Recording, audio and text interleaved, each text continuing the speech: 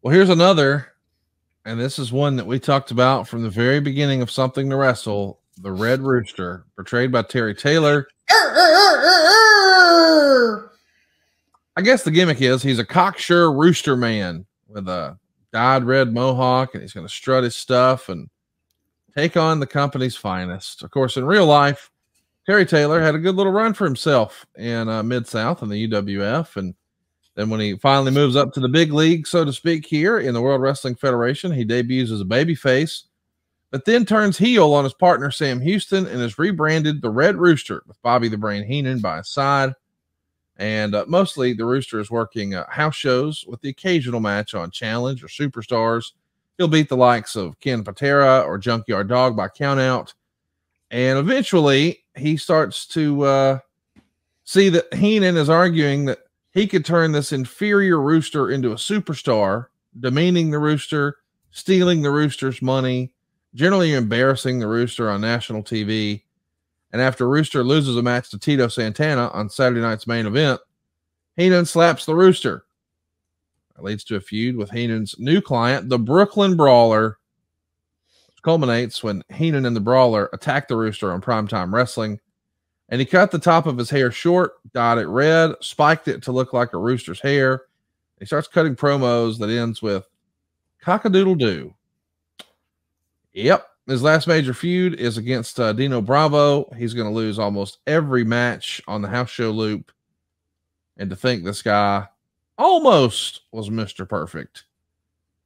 I think the debut happens. No.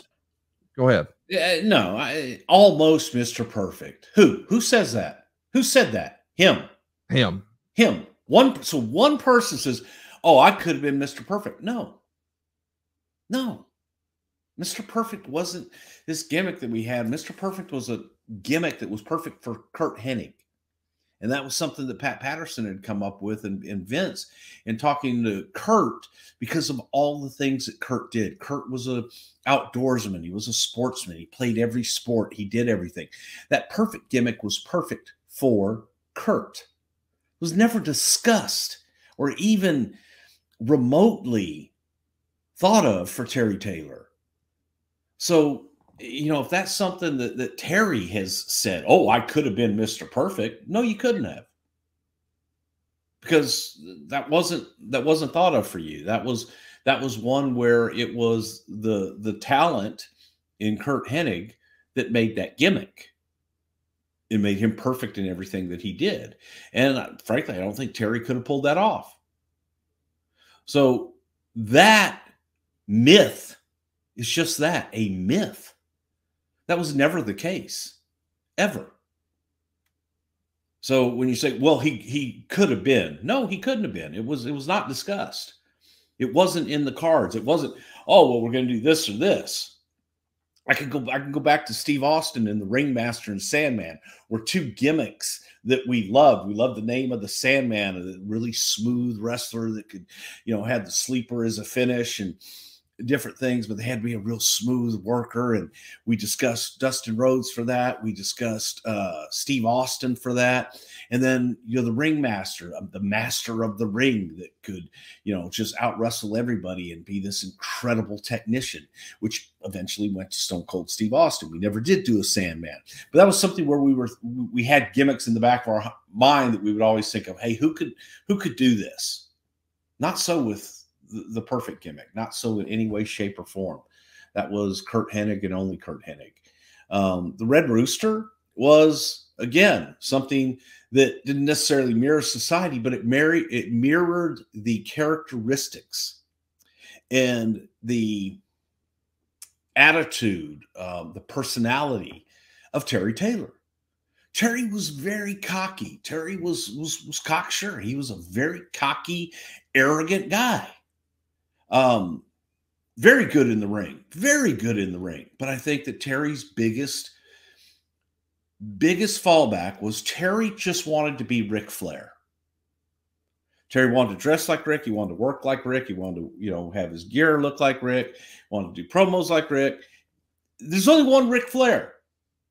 Go be something new. Go be yourself. Go be something other than a knockoff of something else which is why, you know, when Buddy Landel did the Nature Boy gimmick, he's just a cheap imitation of the real Nature Boy Ric Flair. So with Terry's personality, it was again the word cocky kept coming up, and you know it was when you look out at the barnyard, who rules who who rules the roost? The rooster. The big fucking cocky red rooster, the, the, the, the one that impregnates all the hens, the cock of the walk.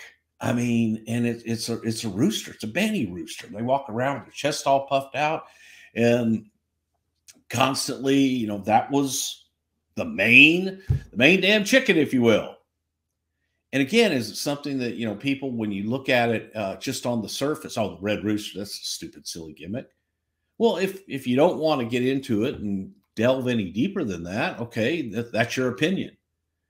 But when you're looking for something to take a an ordinary wrestler whose gimmick, for lack of a better term, was to be another Ric Flair but there already was a Ric Flair, and they didn't do it as good as Ric Flair. And no matter how good they did, it would have always been compared to Ric Flair.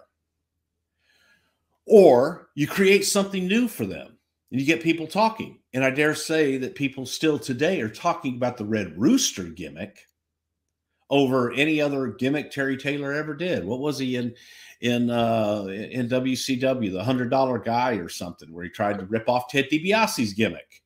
Taylor made man. Okay, and, and then uh, he was was he was he the, the one with the with the computer or he was yeah, a million Alexandra York, Marlena before she was Marlena. Yeah, yeah. I mean, again, ripping off something else that had already been done by another guy and done much better. So it was the poor man's version of it.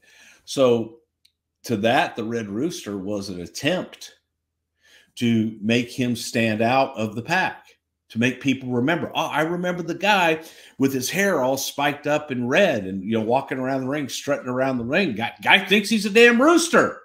Right. He's so proud of himself and so cocky and he's so arrogant. He talks about how he's the best and by God is a rooster. You know, I run I run this here hen house in the WWE. Again, using metaphors and eh, nobody expected him to, to be a, an actual chicken. They expected him to take on the characteristics of what a red rooster would be and to give him some personality and infuse that in him. And I dare say that had Terry embraced it, said it a million times, said it to Terry, had Terry embraced that, that I think Terry would have been one of the biggest stars. And still to this day, he is known for that time as the Red Rooster. Good, bad, or indifferent. That's what he's remembered for.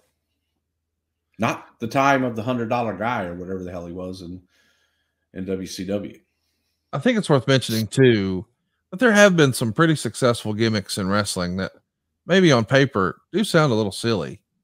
The Undertaker's supposed to be dead.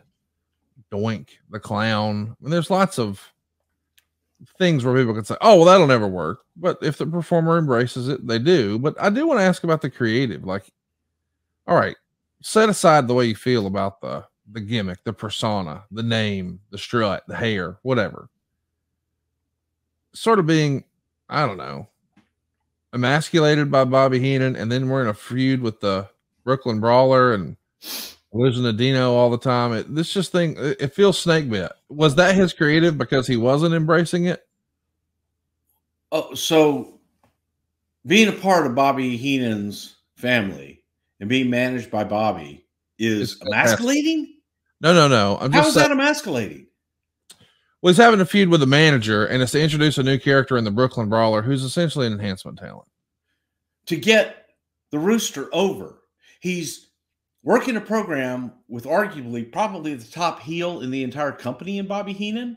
Yes, agree. And that's and that's emasculating.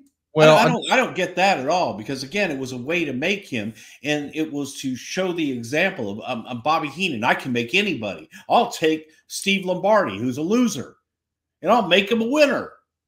But yet he couldn't, and the rooster prevailed at every step. But in doing so, I don't think that you know Terry embraced it enough to go you know beyond that because he didn't believe it. He didn't want to be the Red Rooster. Here's what I'm asking, I guess. First of all, I appreciate you're fired up. I hope everybody's watching on video, something wrestle.com. Bruce fired up is fun. But let's pretend, let's just change the names here. Instead of Rooster losing a match to Tito Santana on Saturday night's main event and getting slapped around by Bobby Heenan and then starting a feud with Brooklyn Brawler, now it's Mr. Perfect losing a match to Tito Santana and getting slapped around by Bobby Heenan and starting a feud with the Brooklyn Brawler. I just don't see that you would have booked the Mr. Perfect character that way. Well, no, because they're two different characters with two different human beings behind the character. No, you wouldn't have booked Mr. Perfect like that. But Terry wasn't going anywhere as Terry Taylor. He wasn't going anywhere as Terry Taylor. Wasn't working. It was just another guy. We had to create something for him. With Curt Hennig is Mr. Perfect, and I dare say, you know, Curt, you're, you're talking about two completely different human beings and two completely different performers that put in their gimmicks. It's you're talking apples and pomegranates at that point. He debuts July 12th, 1988, beating Tito Santana in Madison, Wisconsin. It's a house show. He is going to be on pay per view for the 88 Survivor Series and the 1990 Royal Rumble. And he's going to leave after he's defeated by Akeem the African Dream in New Brunswick, Canada. Do you think Terry was relieved or disappointed when this run was over? I would say I would bet Terry would have been relieved. I think that Terry, you know, look, Terry didn't like the gimmick. I, don't think that's any secret. Terry didn't like the gimmick. Terry didn't embrace it, didn't want to do it. And I think Terry wanted to be Terry Taylor. So, um, but again, that was disproven when he went and became somebody else um, elsewhere. But it, it, it's like, yeah, I think he was relieved. I think he was happy to be moving on because um, he he didn't like being a gimmick. Do you uh I'm, I mean I'm picking up just listening to your tone as you discuss this. It feels like you have a hard on for Terry Taylor. No, That's not at all. Not at all. Man, That's Terry and, and Terry and I, you know, and years later, I, I through the years, Terry and I didn't always see eye to eye, didn't always get along. But again, through the years, you also mature and you realize that you know first of all there's two sides to every story and you take people for what they are and terry and i yeah if you were to ask you're asking me my feelings right now um man i'm totally good with terry taylor and i think that we've got a pretty good relationship right now